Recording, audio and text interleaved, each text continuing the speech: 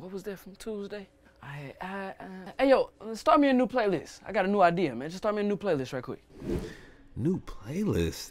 Uh, I just had this. I know I was watching that video. I think Wavy Wayne said Command Shift. No. Oh man, I hope he's not getting impatient. Ah, dang, that's not right. It's got to be Control P. Control P? No. You're not done yet? I forgot my whole idea now. You took too long. Hey man, taking too long in the studio can really kill the vibe and possibly cause you to lose a client, especially if they work with an editing ninja. What's up, audio engineers, producers, and artists? I am Wavy Wayne from WavyWayne.com, and this YouTube channel is all about helping you to record and mix smarter and faster. Today, we're gonna be taking a look at the top 10 most useful shortcuts in Pro Tools. I find these to be the most useful because when you're working in a session, you wanna be able to move quickly, especially doing recording, editing tasks, and anything that's dealing with your client. When you have a client in the studio with you, it is so important to be efficient. Yes, you are working hourly, but do you really want to just be milking them because you are inefficient? When they go to work with another engineer that's a lot faster, maybe because they're Pro Tools certified, when they go, speaking of that too, I also have a, Pro Tools certification course that's enrolling right now if you want to tap in. But once they work with a client, with the engineer, once your client works with an engineer who is fast and efficient, they're not gonna wanna work with you again. Trust me, I know from firsthand experience. There's been times to where an engineer has been sick, I had to go sit in for them, and I ended up becoming the permanent engineer, the head engineer on that project, just because of my speed and efficiency in Pro Tools. These 10 shortcuts are shortcuts that everybody who uses Pro Tools should absolutely know. So let's go ahead and jump right in so I can show you how they work. By now, you probably know that in Pro Tools, you can simply go right up to the File menu and choose Save or Save As to update the latest copy of your session. By choosing Save, the shortcut is Command S. If you choose Save As, that shortcut is Control Command S. Now, what are the difference between doing a standard Save Command S and a Save As? Control Command S? well, one of them, when you just do a Save a regular save by hitting Command S, which I recommend that you do after every single move that you want to save, whether that's making a selection, Command S, moving a fader, Command S, muting a track, Command S, record pass, Command S. Everything that you want to keep, Command S. But if you're going to do some major changes to the session and you're not sure that you want to keep it or you just want to kind of track your progress as you move along, doing a save as will actually create a new Pro Tools session file so that you can also refer back to this one. So if for some reason I was gonna do something like, you know, change the arrangement, I could hit control uh, command S to do a save as, and then just, just call this the 2.0 session. And then if I copied and duplicated a bunch of stuff around this session differently and later decided, hey, I don't like this, I can always go back to that original file and just keep working from there. So the differences between a save as control command S is that the standard save updates the current copy of the PTX while the save as is going to allow you to save a new copy of the session file under a new name or a location. And I use that most often whenever I am making big changes in my session. So after you've gotten done saving, the next thing you're probably gonna wanna take a look at is gonna be recording. Now, there are some slow ways that we can start recording in Pro Tools and you might know those already, but did you know that there are actually three shortcuts that you can use to start instantly recording in Pro Tools? Yeah, not one, not two, but three handy shortcuts that actually make um, a lot of sense depending on what system you're using to run your Pro Tools on. So let's run down those three shortcuts. After you record enable a track, right, and that track is record enabled, you can hit Command S or Control S if you're on a PC. You can hit numeric 3 on your numeric keypad or F12. Now, why are there so many different ways like hitting Command S to start recording? Or hitting numeric 3 to start recording? Or even hitting F12? to start recording? Well, the reason is because different keyboards and different operating systems make different uses of these controls. So your workflow might be a little bit different. For one example, when I'm working on my laptop, I don't have a numeric keypad. So the numeric three to start recording is out the picture for me. For a lot of us, if you are working on a Mac and you haven't changed your system preferences, whenever you hit the command and space bar, that will open up a spotlight search. And also, for some of us, also on Macs, we don't even have access to these function keys because Apple has routed those to all different kinds of things. So, depending on which system you are working on, you can choose any one of those shortcuts between Command S, numeric 3, and of course F12 to start recording if that hasn't already been mapped for something else. I definitely recommend that you use these to start recording and the dope thing is is that if you are in quick punch mode in Pro Tools, you can use these shortcuts to punch in and punch out and punch in and punch out without ever having to stop the playback. Once you're doing a lot of recording in your session, you're probably also going to need to make some new tracks. Pro Tools has some creative ways to create new tracks that make it very easy and fluid for you to continue what you're doing in your session. Let me show you a couple of them. One of them that you probably already know, and then I have some that you probably don't know. So, of course, you can always go up to the track menu and hit new. This shortcut is Shift Command N. If I want to make new short new tracks, I can hit Shift Command N open up my new track dialog box, and I can even use shortcuts inside this dialog box to determine the width of the tracks that I'm working with and also the type of track that I am choosing, okay? So to change the width, if I hold command on my Mac or control on the PC, um, in this case, since I'm on a Mac, I'm gonna hold command and use my left and right arrow keys. This will allow me to change the different track width. So whether I'm working with mono, stereo, 7.1 or above, right, I can choose that track width. I can also hold the command key and use the up and down arrows to change the type of track that I'm going to be creating. All right. And then, of course, if I hit Command N again, I can uh, create another row and create multiple types of tracks all at one time. I'm going to go over to the mix window to show y'all this next track, right?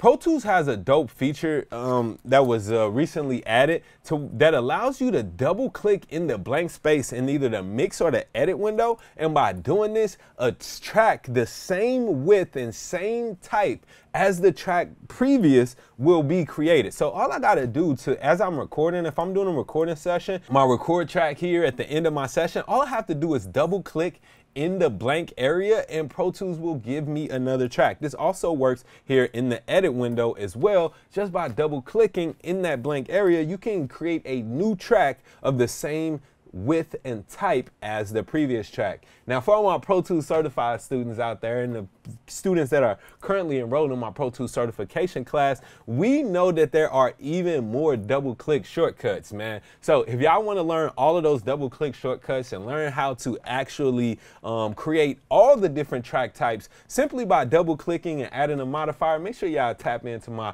Pro Tools certification course, which is enrolling right now. So let's continue with my list of the top 10 most useful shortcuts. So the we have so far covered uh, saving, recording, and making new tracks. Let's go over to my edit window for this next part. In this next part, I'm gonna be talking about creating playlists, creating new playlists. Basically what a playlist is, playlist is a feature that allows you to have multiple different versions of takes or multiple different versions of arrangements or clips on a single track and be able to access them all. So it's kind of like it's putting them in the background, right? Right now, what we're looking at on this vocal track is my main playlist. One dope feature that I love is that while I'm recording, I can create new playlists on the fly simply by hitting control and using the backslash, okay? So that's control and backslash. And if you notice, I actually just created a new playlist. This will allow me to record new clips, new audio on this same track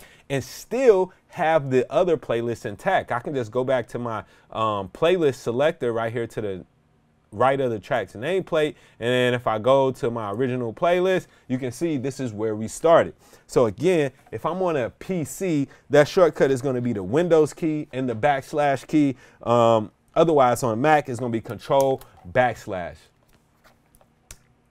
You can also create duplicate playlists as well. So if I wanted to create a playlist, let's say I like what I have here, but I want to experiment with some different edits on this same clip, but I want to keep what I have here. Um, to create a duplicate playlist instead of a new one, what you would do is hit Control, Command, and then hit the backslash. And if you notice, um, the little playlist number has changed, right? Every time I do that, now this is playlist five. And this will allow me to experiment with different arrangements of what's on this track and still have the ability to go back to the way that it was before I created the playlist. So creating a playlist is really dope. And I also like it because even if I start recording, I can create a new playlist as we are recording. So if I'm working with clients who are moving fast throughout the session, they want to quickly jump to the next uh, to the next take. Well, I don't have to spend time clicking over here, making a new playlist, and then recording them. I can instantly start recording over that take that's already there, and then just hold control, hit the backslash while I'm recording, and that whole other playlist has been saved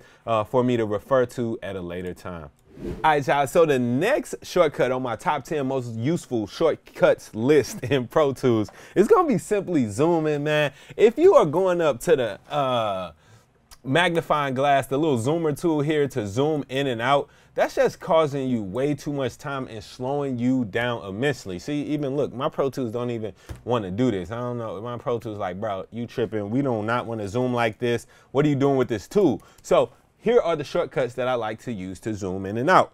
I like to use T to zoom in and R to zoom out. It's really simple. T to zoom in, R to zoom out. Now, in order for the one key shortcuts to work, like T to zoom in and R to zoom out, you need to go over to this little command keyboard focus right here, the little AZ button in the top right corner of your edit playlist section.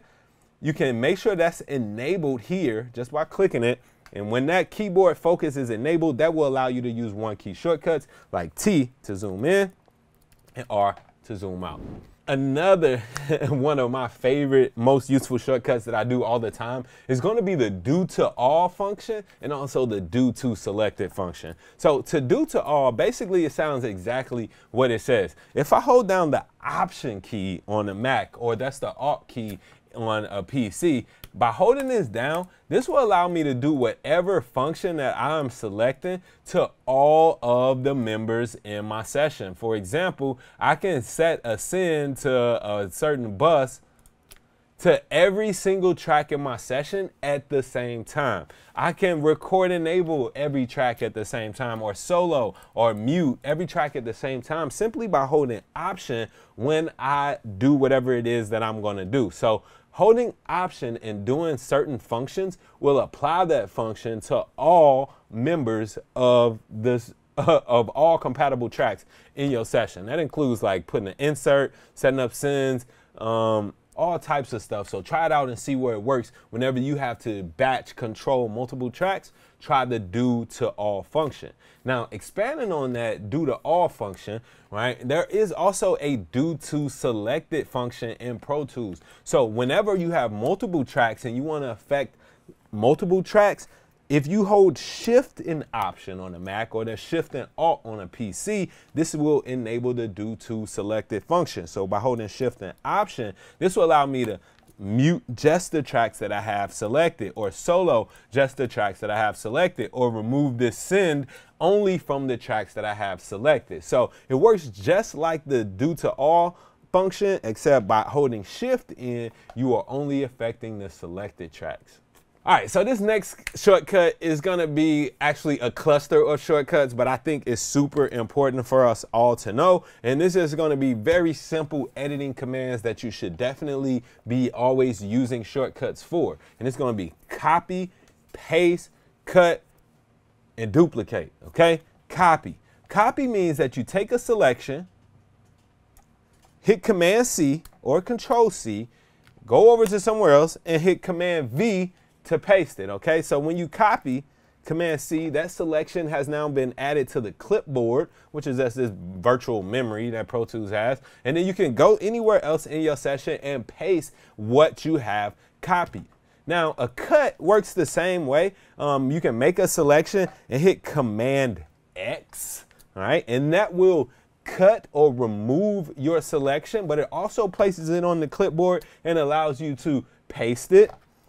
Now, a clear command, um, which was just like hitting the delete key or uh, hitting command B, that's how you can clear. That simply just deletes it or, or clears it without pasting it to the clipboard. Um, but we also have the duplicate function. Duplicate is command D right? And by making a selection, you can command D and duplicate sections, which is very useful for arrangement and producing when you're working in Pro Tools. Now, of course, all of these basic editing commands can be found by going up to the edit menu if you want to be slow about it. But if you want to be quick, try those shortcuts. Command X, Command C, Command V. That's cut, copy, paste, all right? And if you notice, by looking down at your QWERTY keyboard, you will notice that, um, let's just add Command Z in there as well, because that's an important one, right? Command Z undo, hopefully you know that, right? So if you, you can actually use these also as one key shortcuts as long as your command focus is enabled to where you can just hit Let's say I deleted this, I can just hit Z to undo. I can hit X to cut. I can hit V to to paste. I can hit C to copy, you know, and I can also just, um, yeah, that's it. Let's keep going on these shortcuts. I got a couple more. And again, these are my top 10 most useful Pro Tools shortcuts. There's a lot of them that we can go over. I actually have a video where I list about a hundred of my favorite Pro Tools shortcuts, but this top 10 most useful, I use these on every single session and I think you should too. So one of them is, the next one is gonna be how to reset a parameter back to default. There's a simple way in Pro Tools that we can do this and all you have to do is hold the option key or alt if you're on a PC and click on that parameter and it'll reset it back into its default setting. So if you notice, I just got that pan back to the default by option clicking on it. Getting that fader back up to default by option clicking on it. Even if I have a plugin and I change a setting, I can hold option and click on that plugin setting to get it back to its default setting. So anything that you want to reset back to default in Pro Tools, you can hold the option key on the Mac or the alt key on your PC, click that parameter and it will reset it back to the default. For the next shortcut on my top 10 list, let's go back to the edit window. And here I will talk about resizing tracks. So when you can easily resize a track in a few different ways, let's break down some of them. One of them, you can just use your mouse and go over to this little uh, amplitude scale area in the edit window and click on a track height to resize it. You can also go to the left of the track's nameplate and there's a little drop down menu where you can also click to resize tracks. You can even bring your cursor down to the bottom boundary of any track and drag up and down to resize it. But there's a shortcut as well that we can do using our keyboard. And again, the more we use our keyboard, the more we look like editing ninjas, the more that our clients need us, the more magical we look like we are working. Okay, so let's let's use these shortcuts. So I'm gonna go in and to resize this track, I'm simply gonna hold the control key and use my up and down arrows on my Mac. Now the track resizing is going to depend on which track I have my edit selection on, right? So if I have an edit selection on this particular track, once I'm holding control and using my up and down arrows to resize, it affects that track only. Here's a bonus question. How can I resize all the tracks in my session at once using this shortcut? If you said by holding the option key, then you're absolutely correct. So I'm gonna hold control and include the option key so this happens to all the tracks and then I'm going to use my up and down arrows. All right, y'all. Hopefully you've learned a lot in this video. I have just one more shortcut to show y'all on this top 10 and that's going to be to save and recall memory locations. Memory locations can be very, very useful in a session, especially when you have longer sessions or more uh, densely um, uh, populated sessions. Have a lot of tracks, have a long uh, arrangement, right? Knowing where you are in that arrangement by setting memory locations and markers can be very helpful. So the shortcuts to actually set a memory location is enter on the numeric keypad. So let me actually start this over. So like if I was in the beginning, I would hit enter on my numeric keypad and I would hit uh, intro on this song. That's memory location one. I come to another point, hit enter. We can call this verse. Okay, let's come to another point. We'll call this the hook, okay? Now, to recall these memory locations is very easy. So um, if I'm in the mix window, the reason I might want to have these memory locations, and I'm gonna open up my memory locations window just so we can see. Um, here we go. When I open this up, you see I have these memory locations. And the beauty of setting these while I'm working is that I can continue to work in my mix window and navigate throughout my session um, and play different parts without having to go and jump back and forth to the edit window. So if you notice, as I'm clicking on each section, my playback cursor is jumping to the start of that section. So while I'm over in the mix window, I can click on these sections and then just play from any point in my session without having to go over to the edit window. Now, how can I recall these via a shortcut? It's really cool. It's kind of like a little Mortal Kombat cheat code, but all you got to do is hit period, the number of the memory location, and period again. So an example of that right now, we are on the intro. I'm gonna move here just so you can see um, how it recalls. I'm gonna hit period, one, period. And now I have just recalled my intro marker. I'm gonna hit period two period to jump over to the verse, period three period to jump over to my chorus and I can start playing from any of those section. I'm Wavy Wayne from WavyWayne.com. I hope you have found this helpful. I would love to know what are some of your most useful shortcuts. Did I leave any out? Drop down in the comments and let me know. Also, what new shortcuts have you discovered during this video? If any, definitely let me know down in the comments below. Don't forget to check out WavyWayne.com where I have a bunch of resources and tools to help you record and mix smarter and faster. Be dope.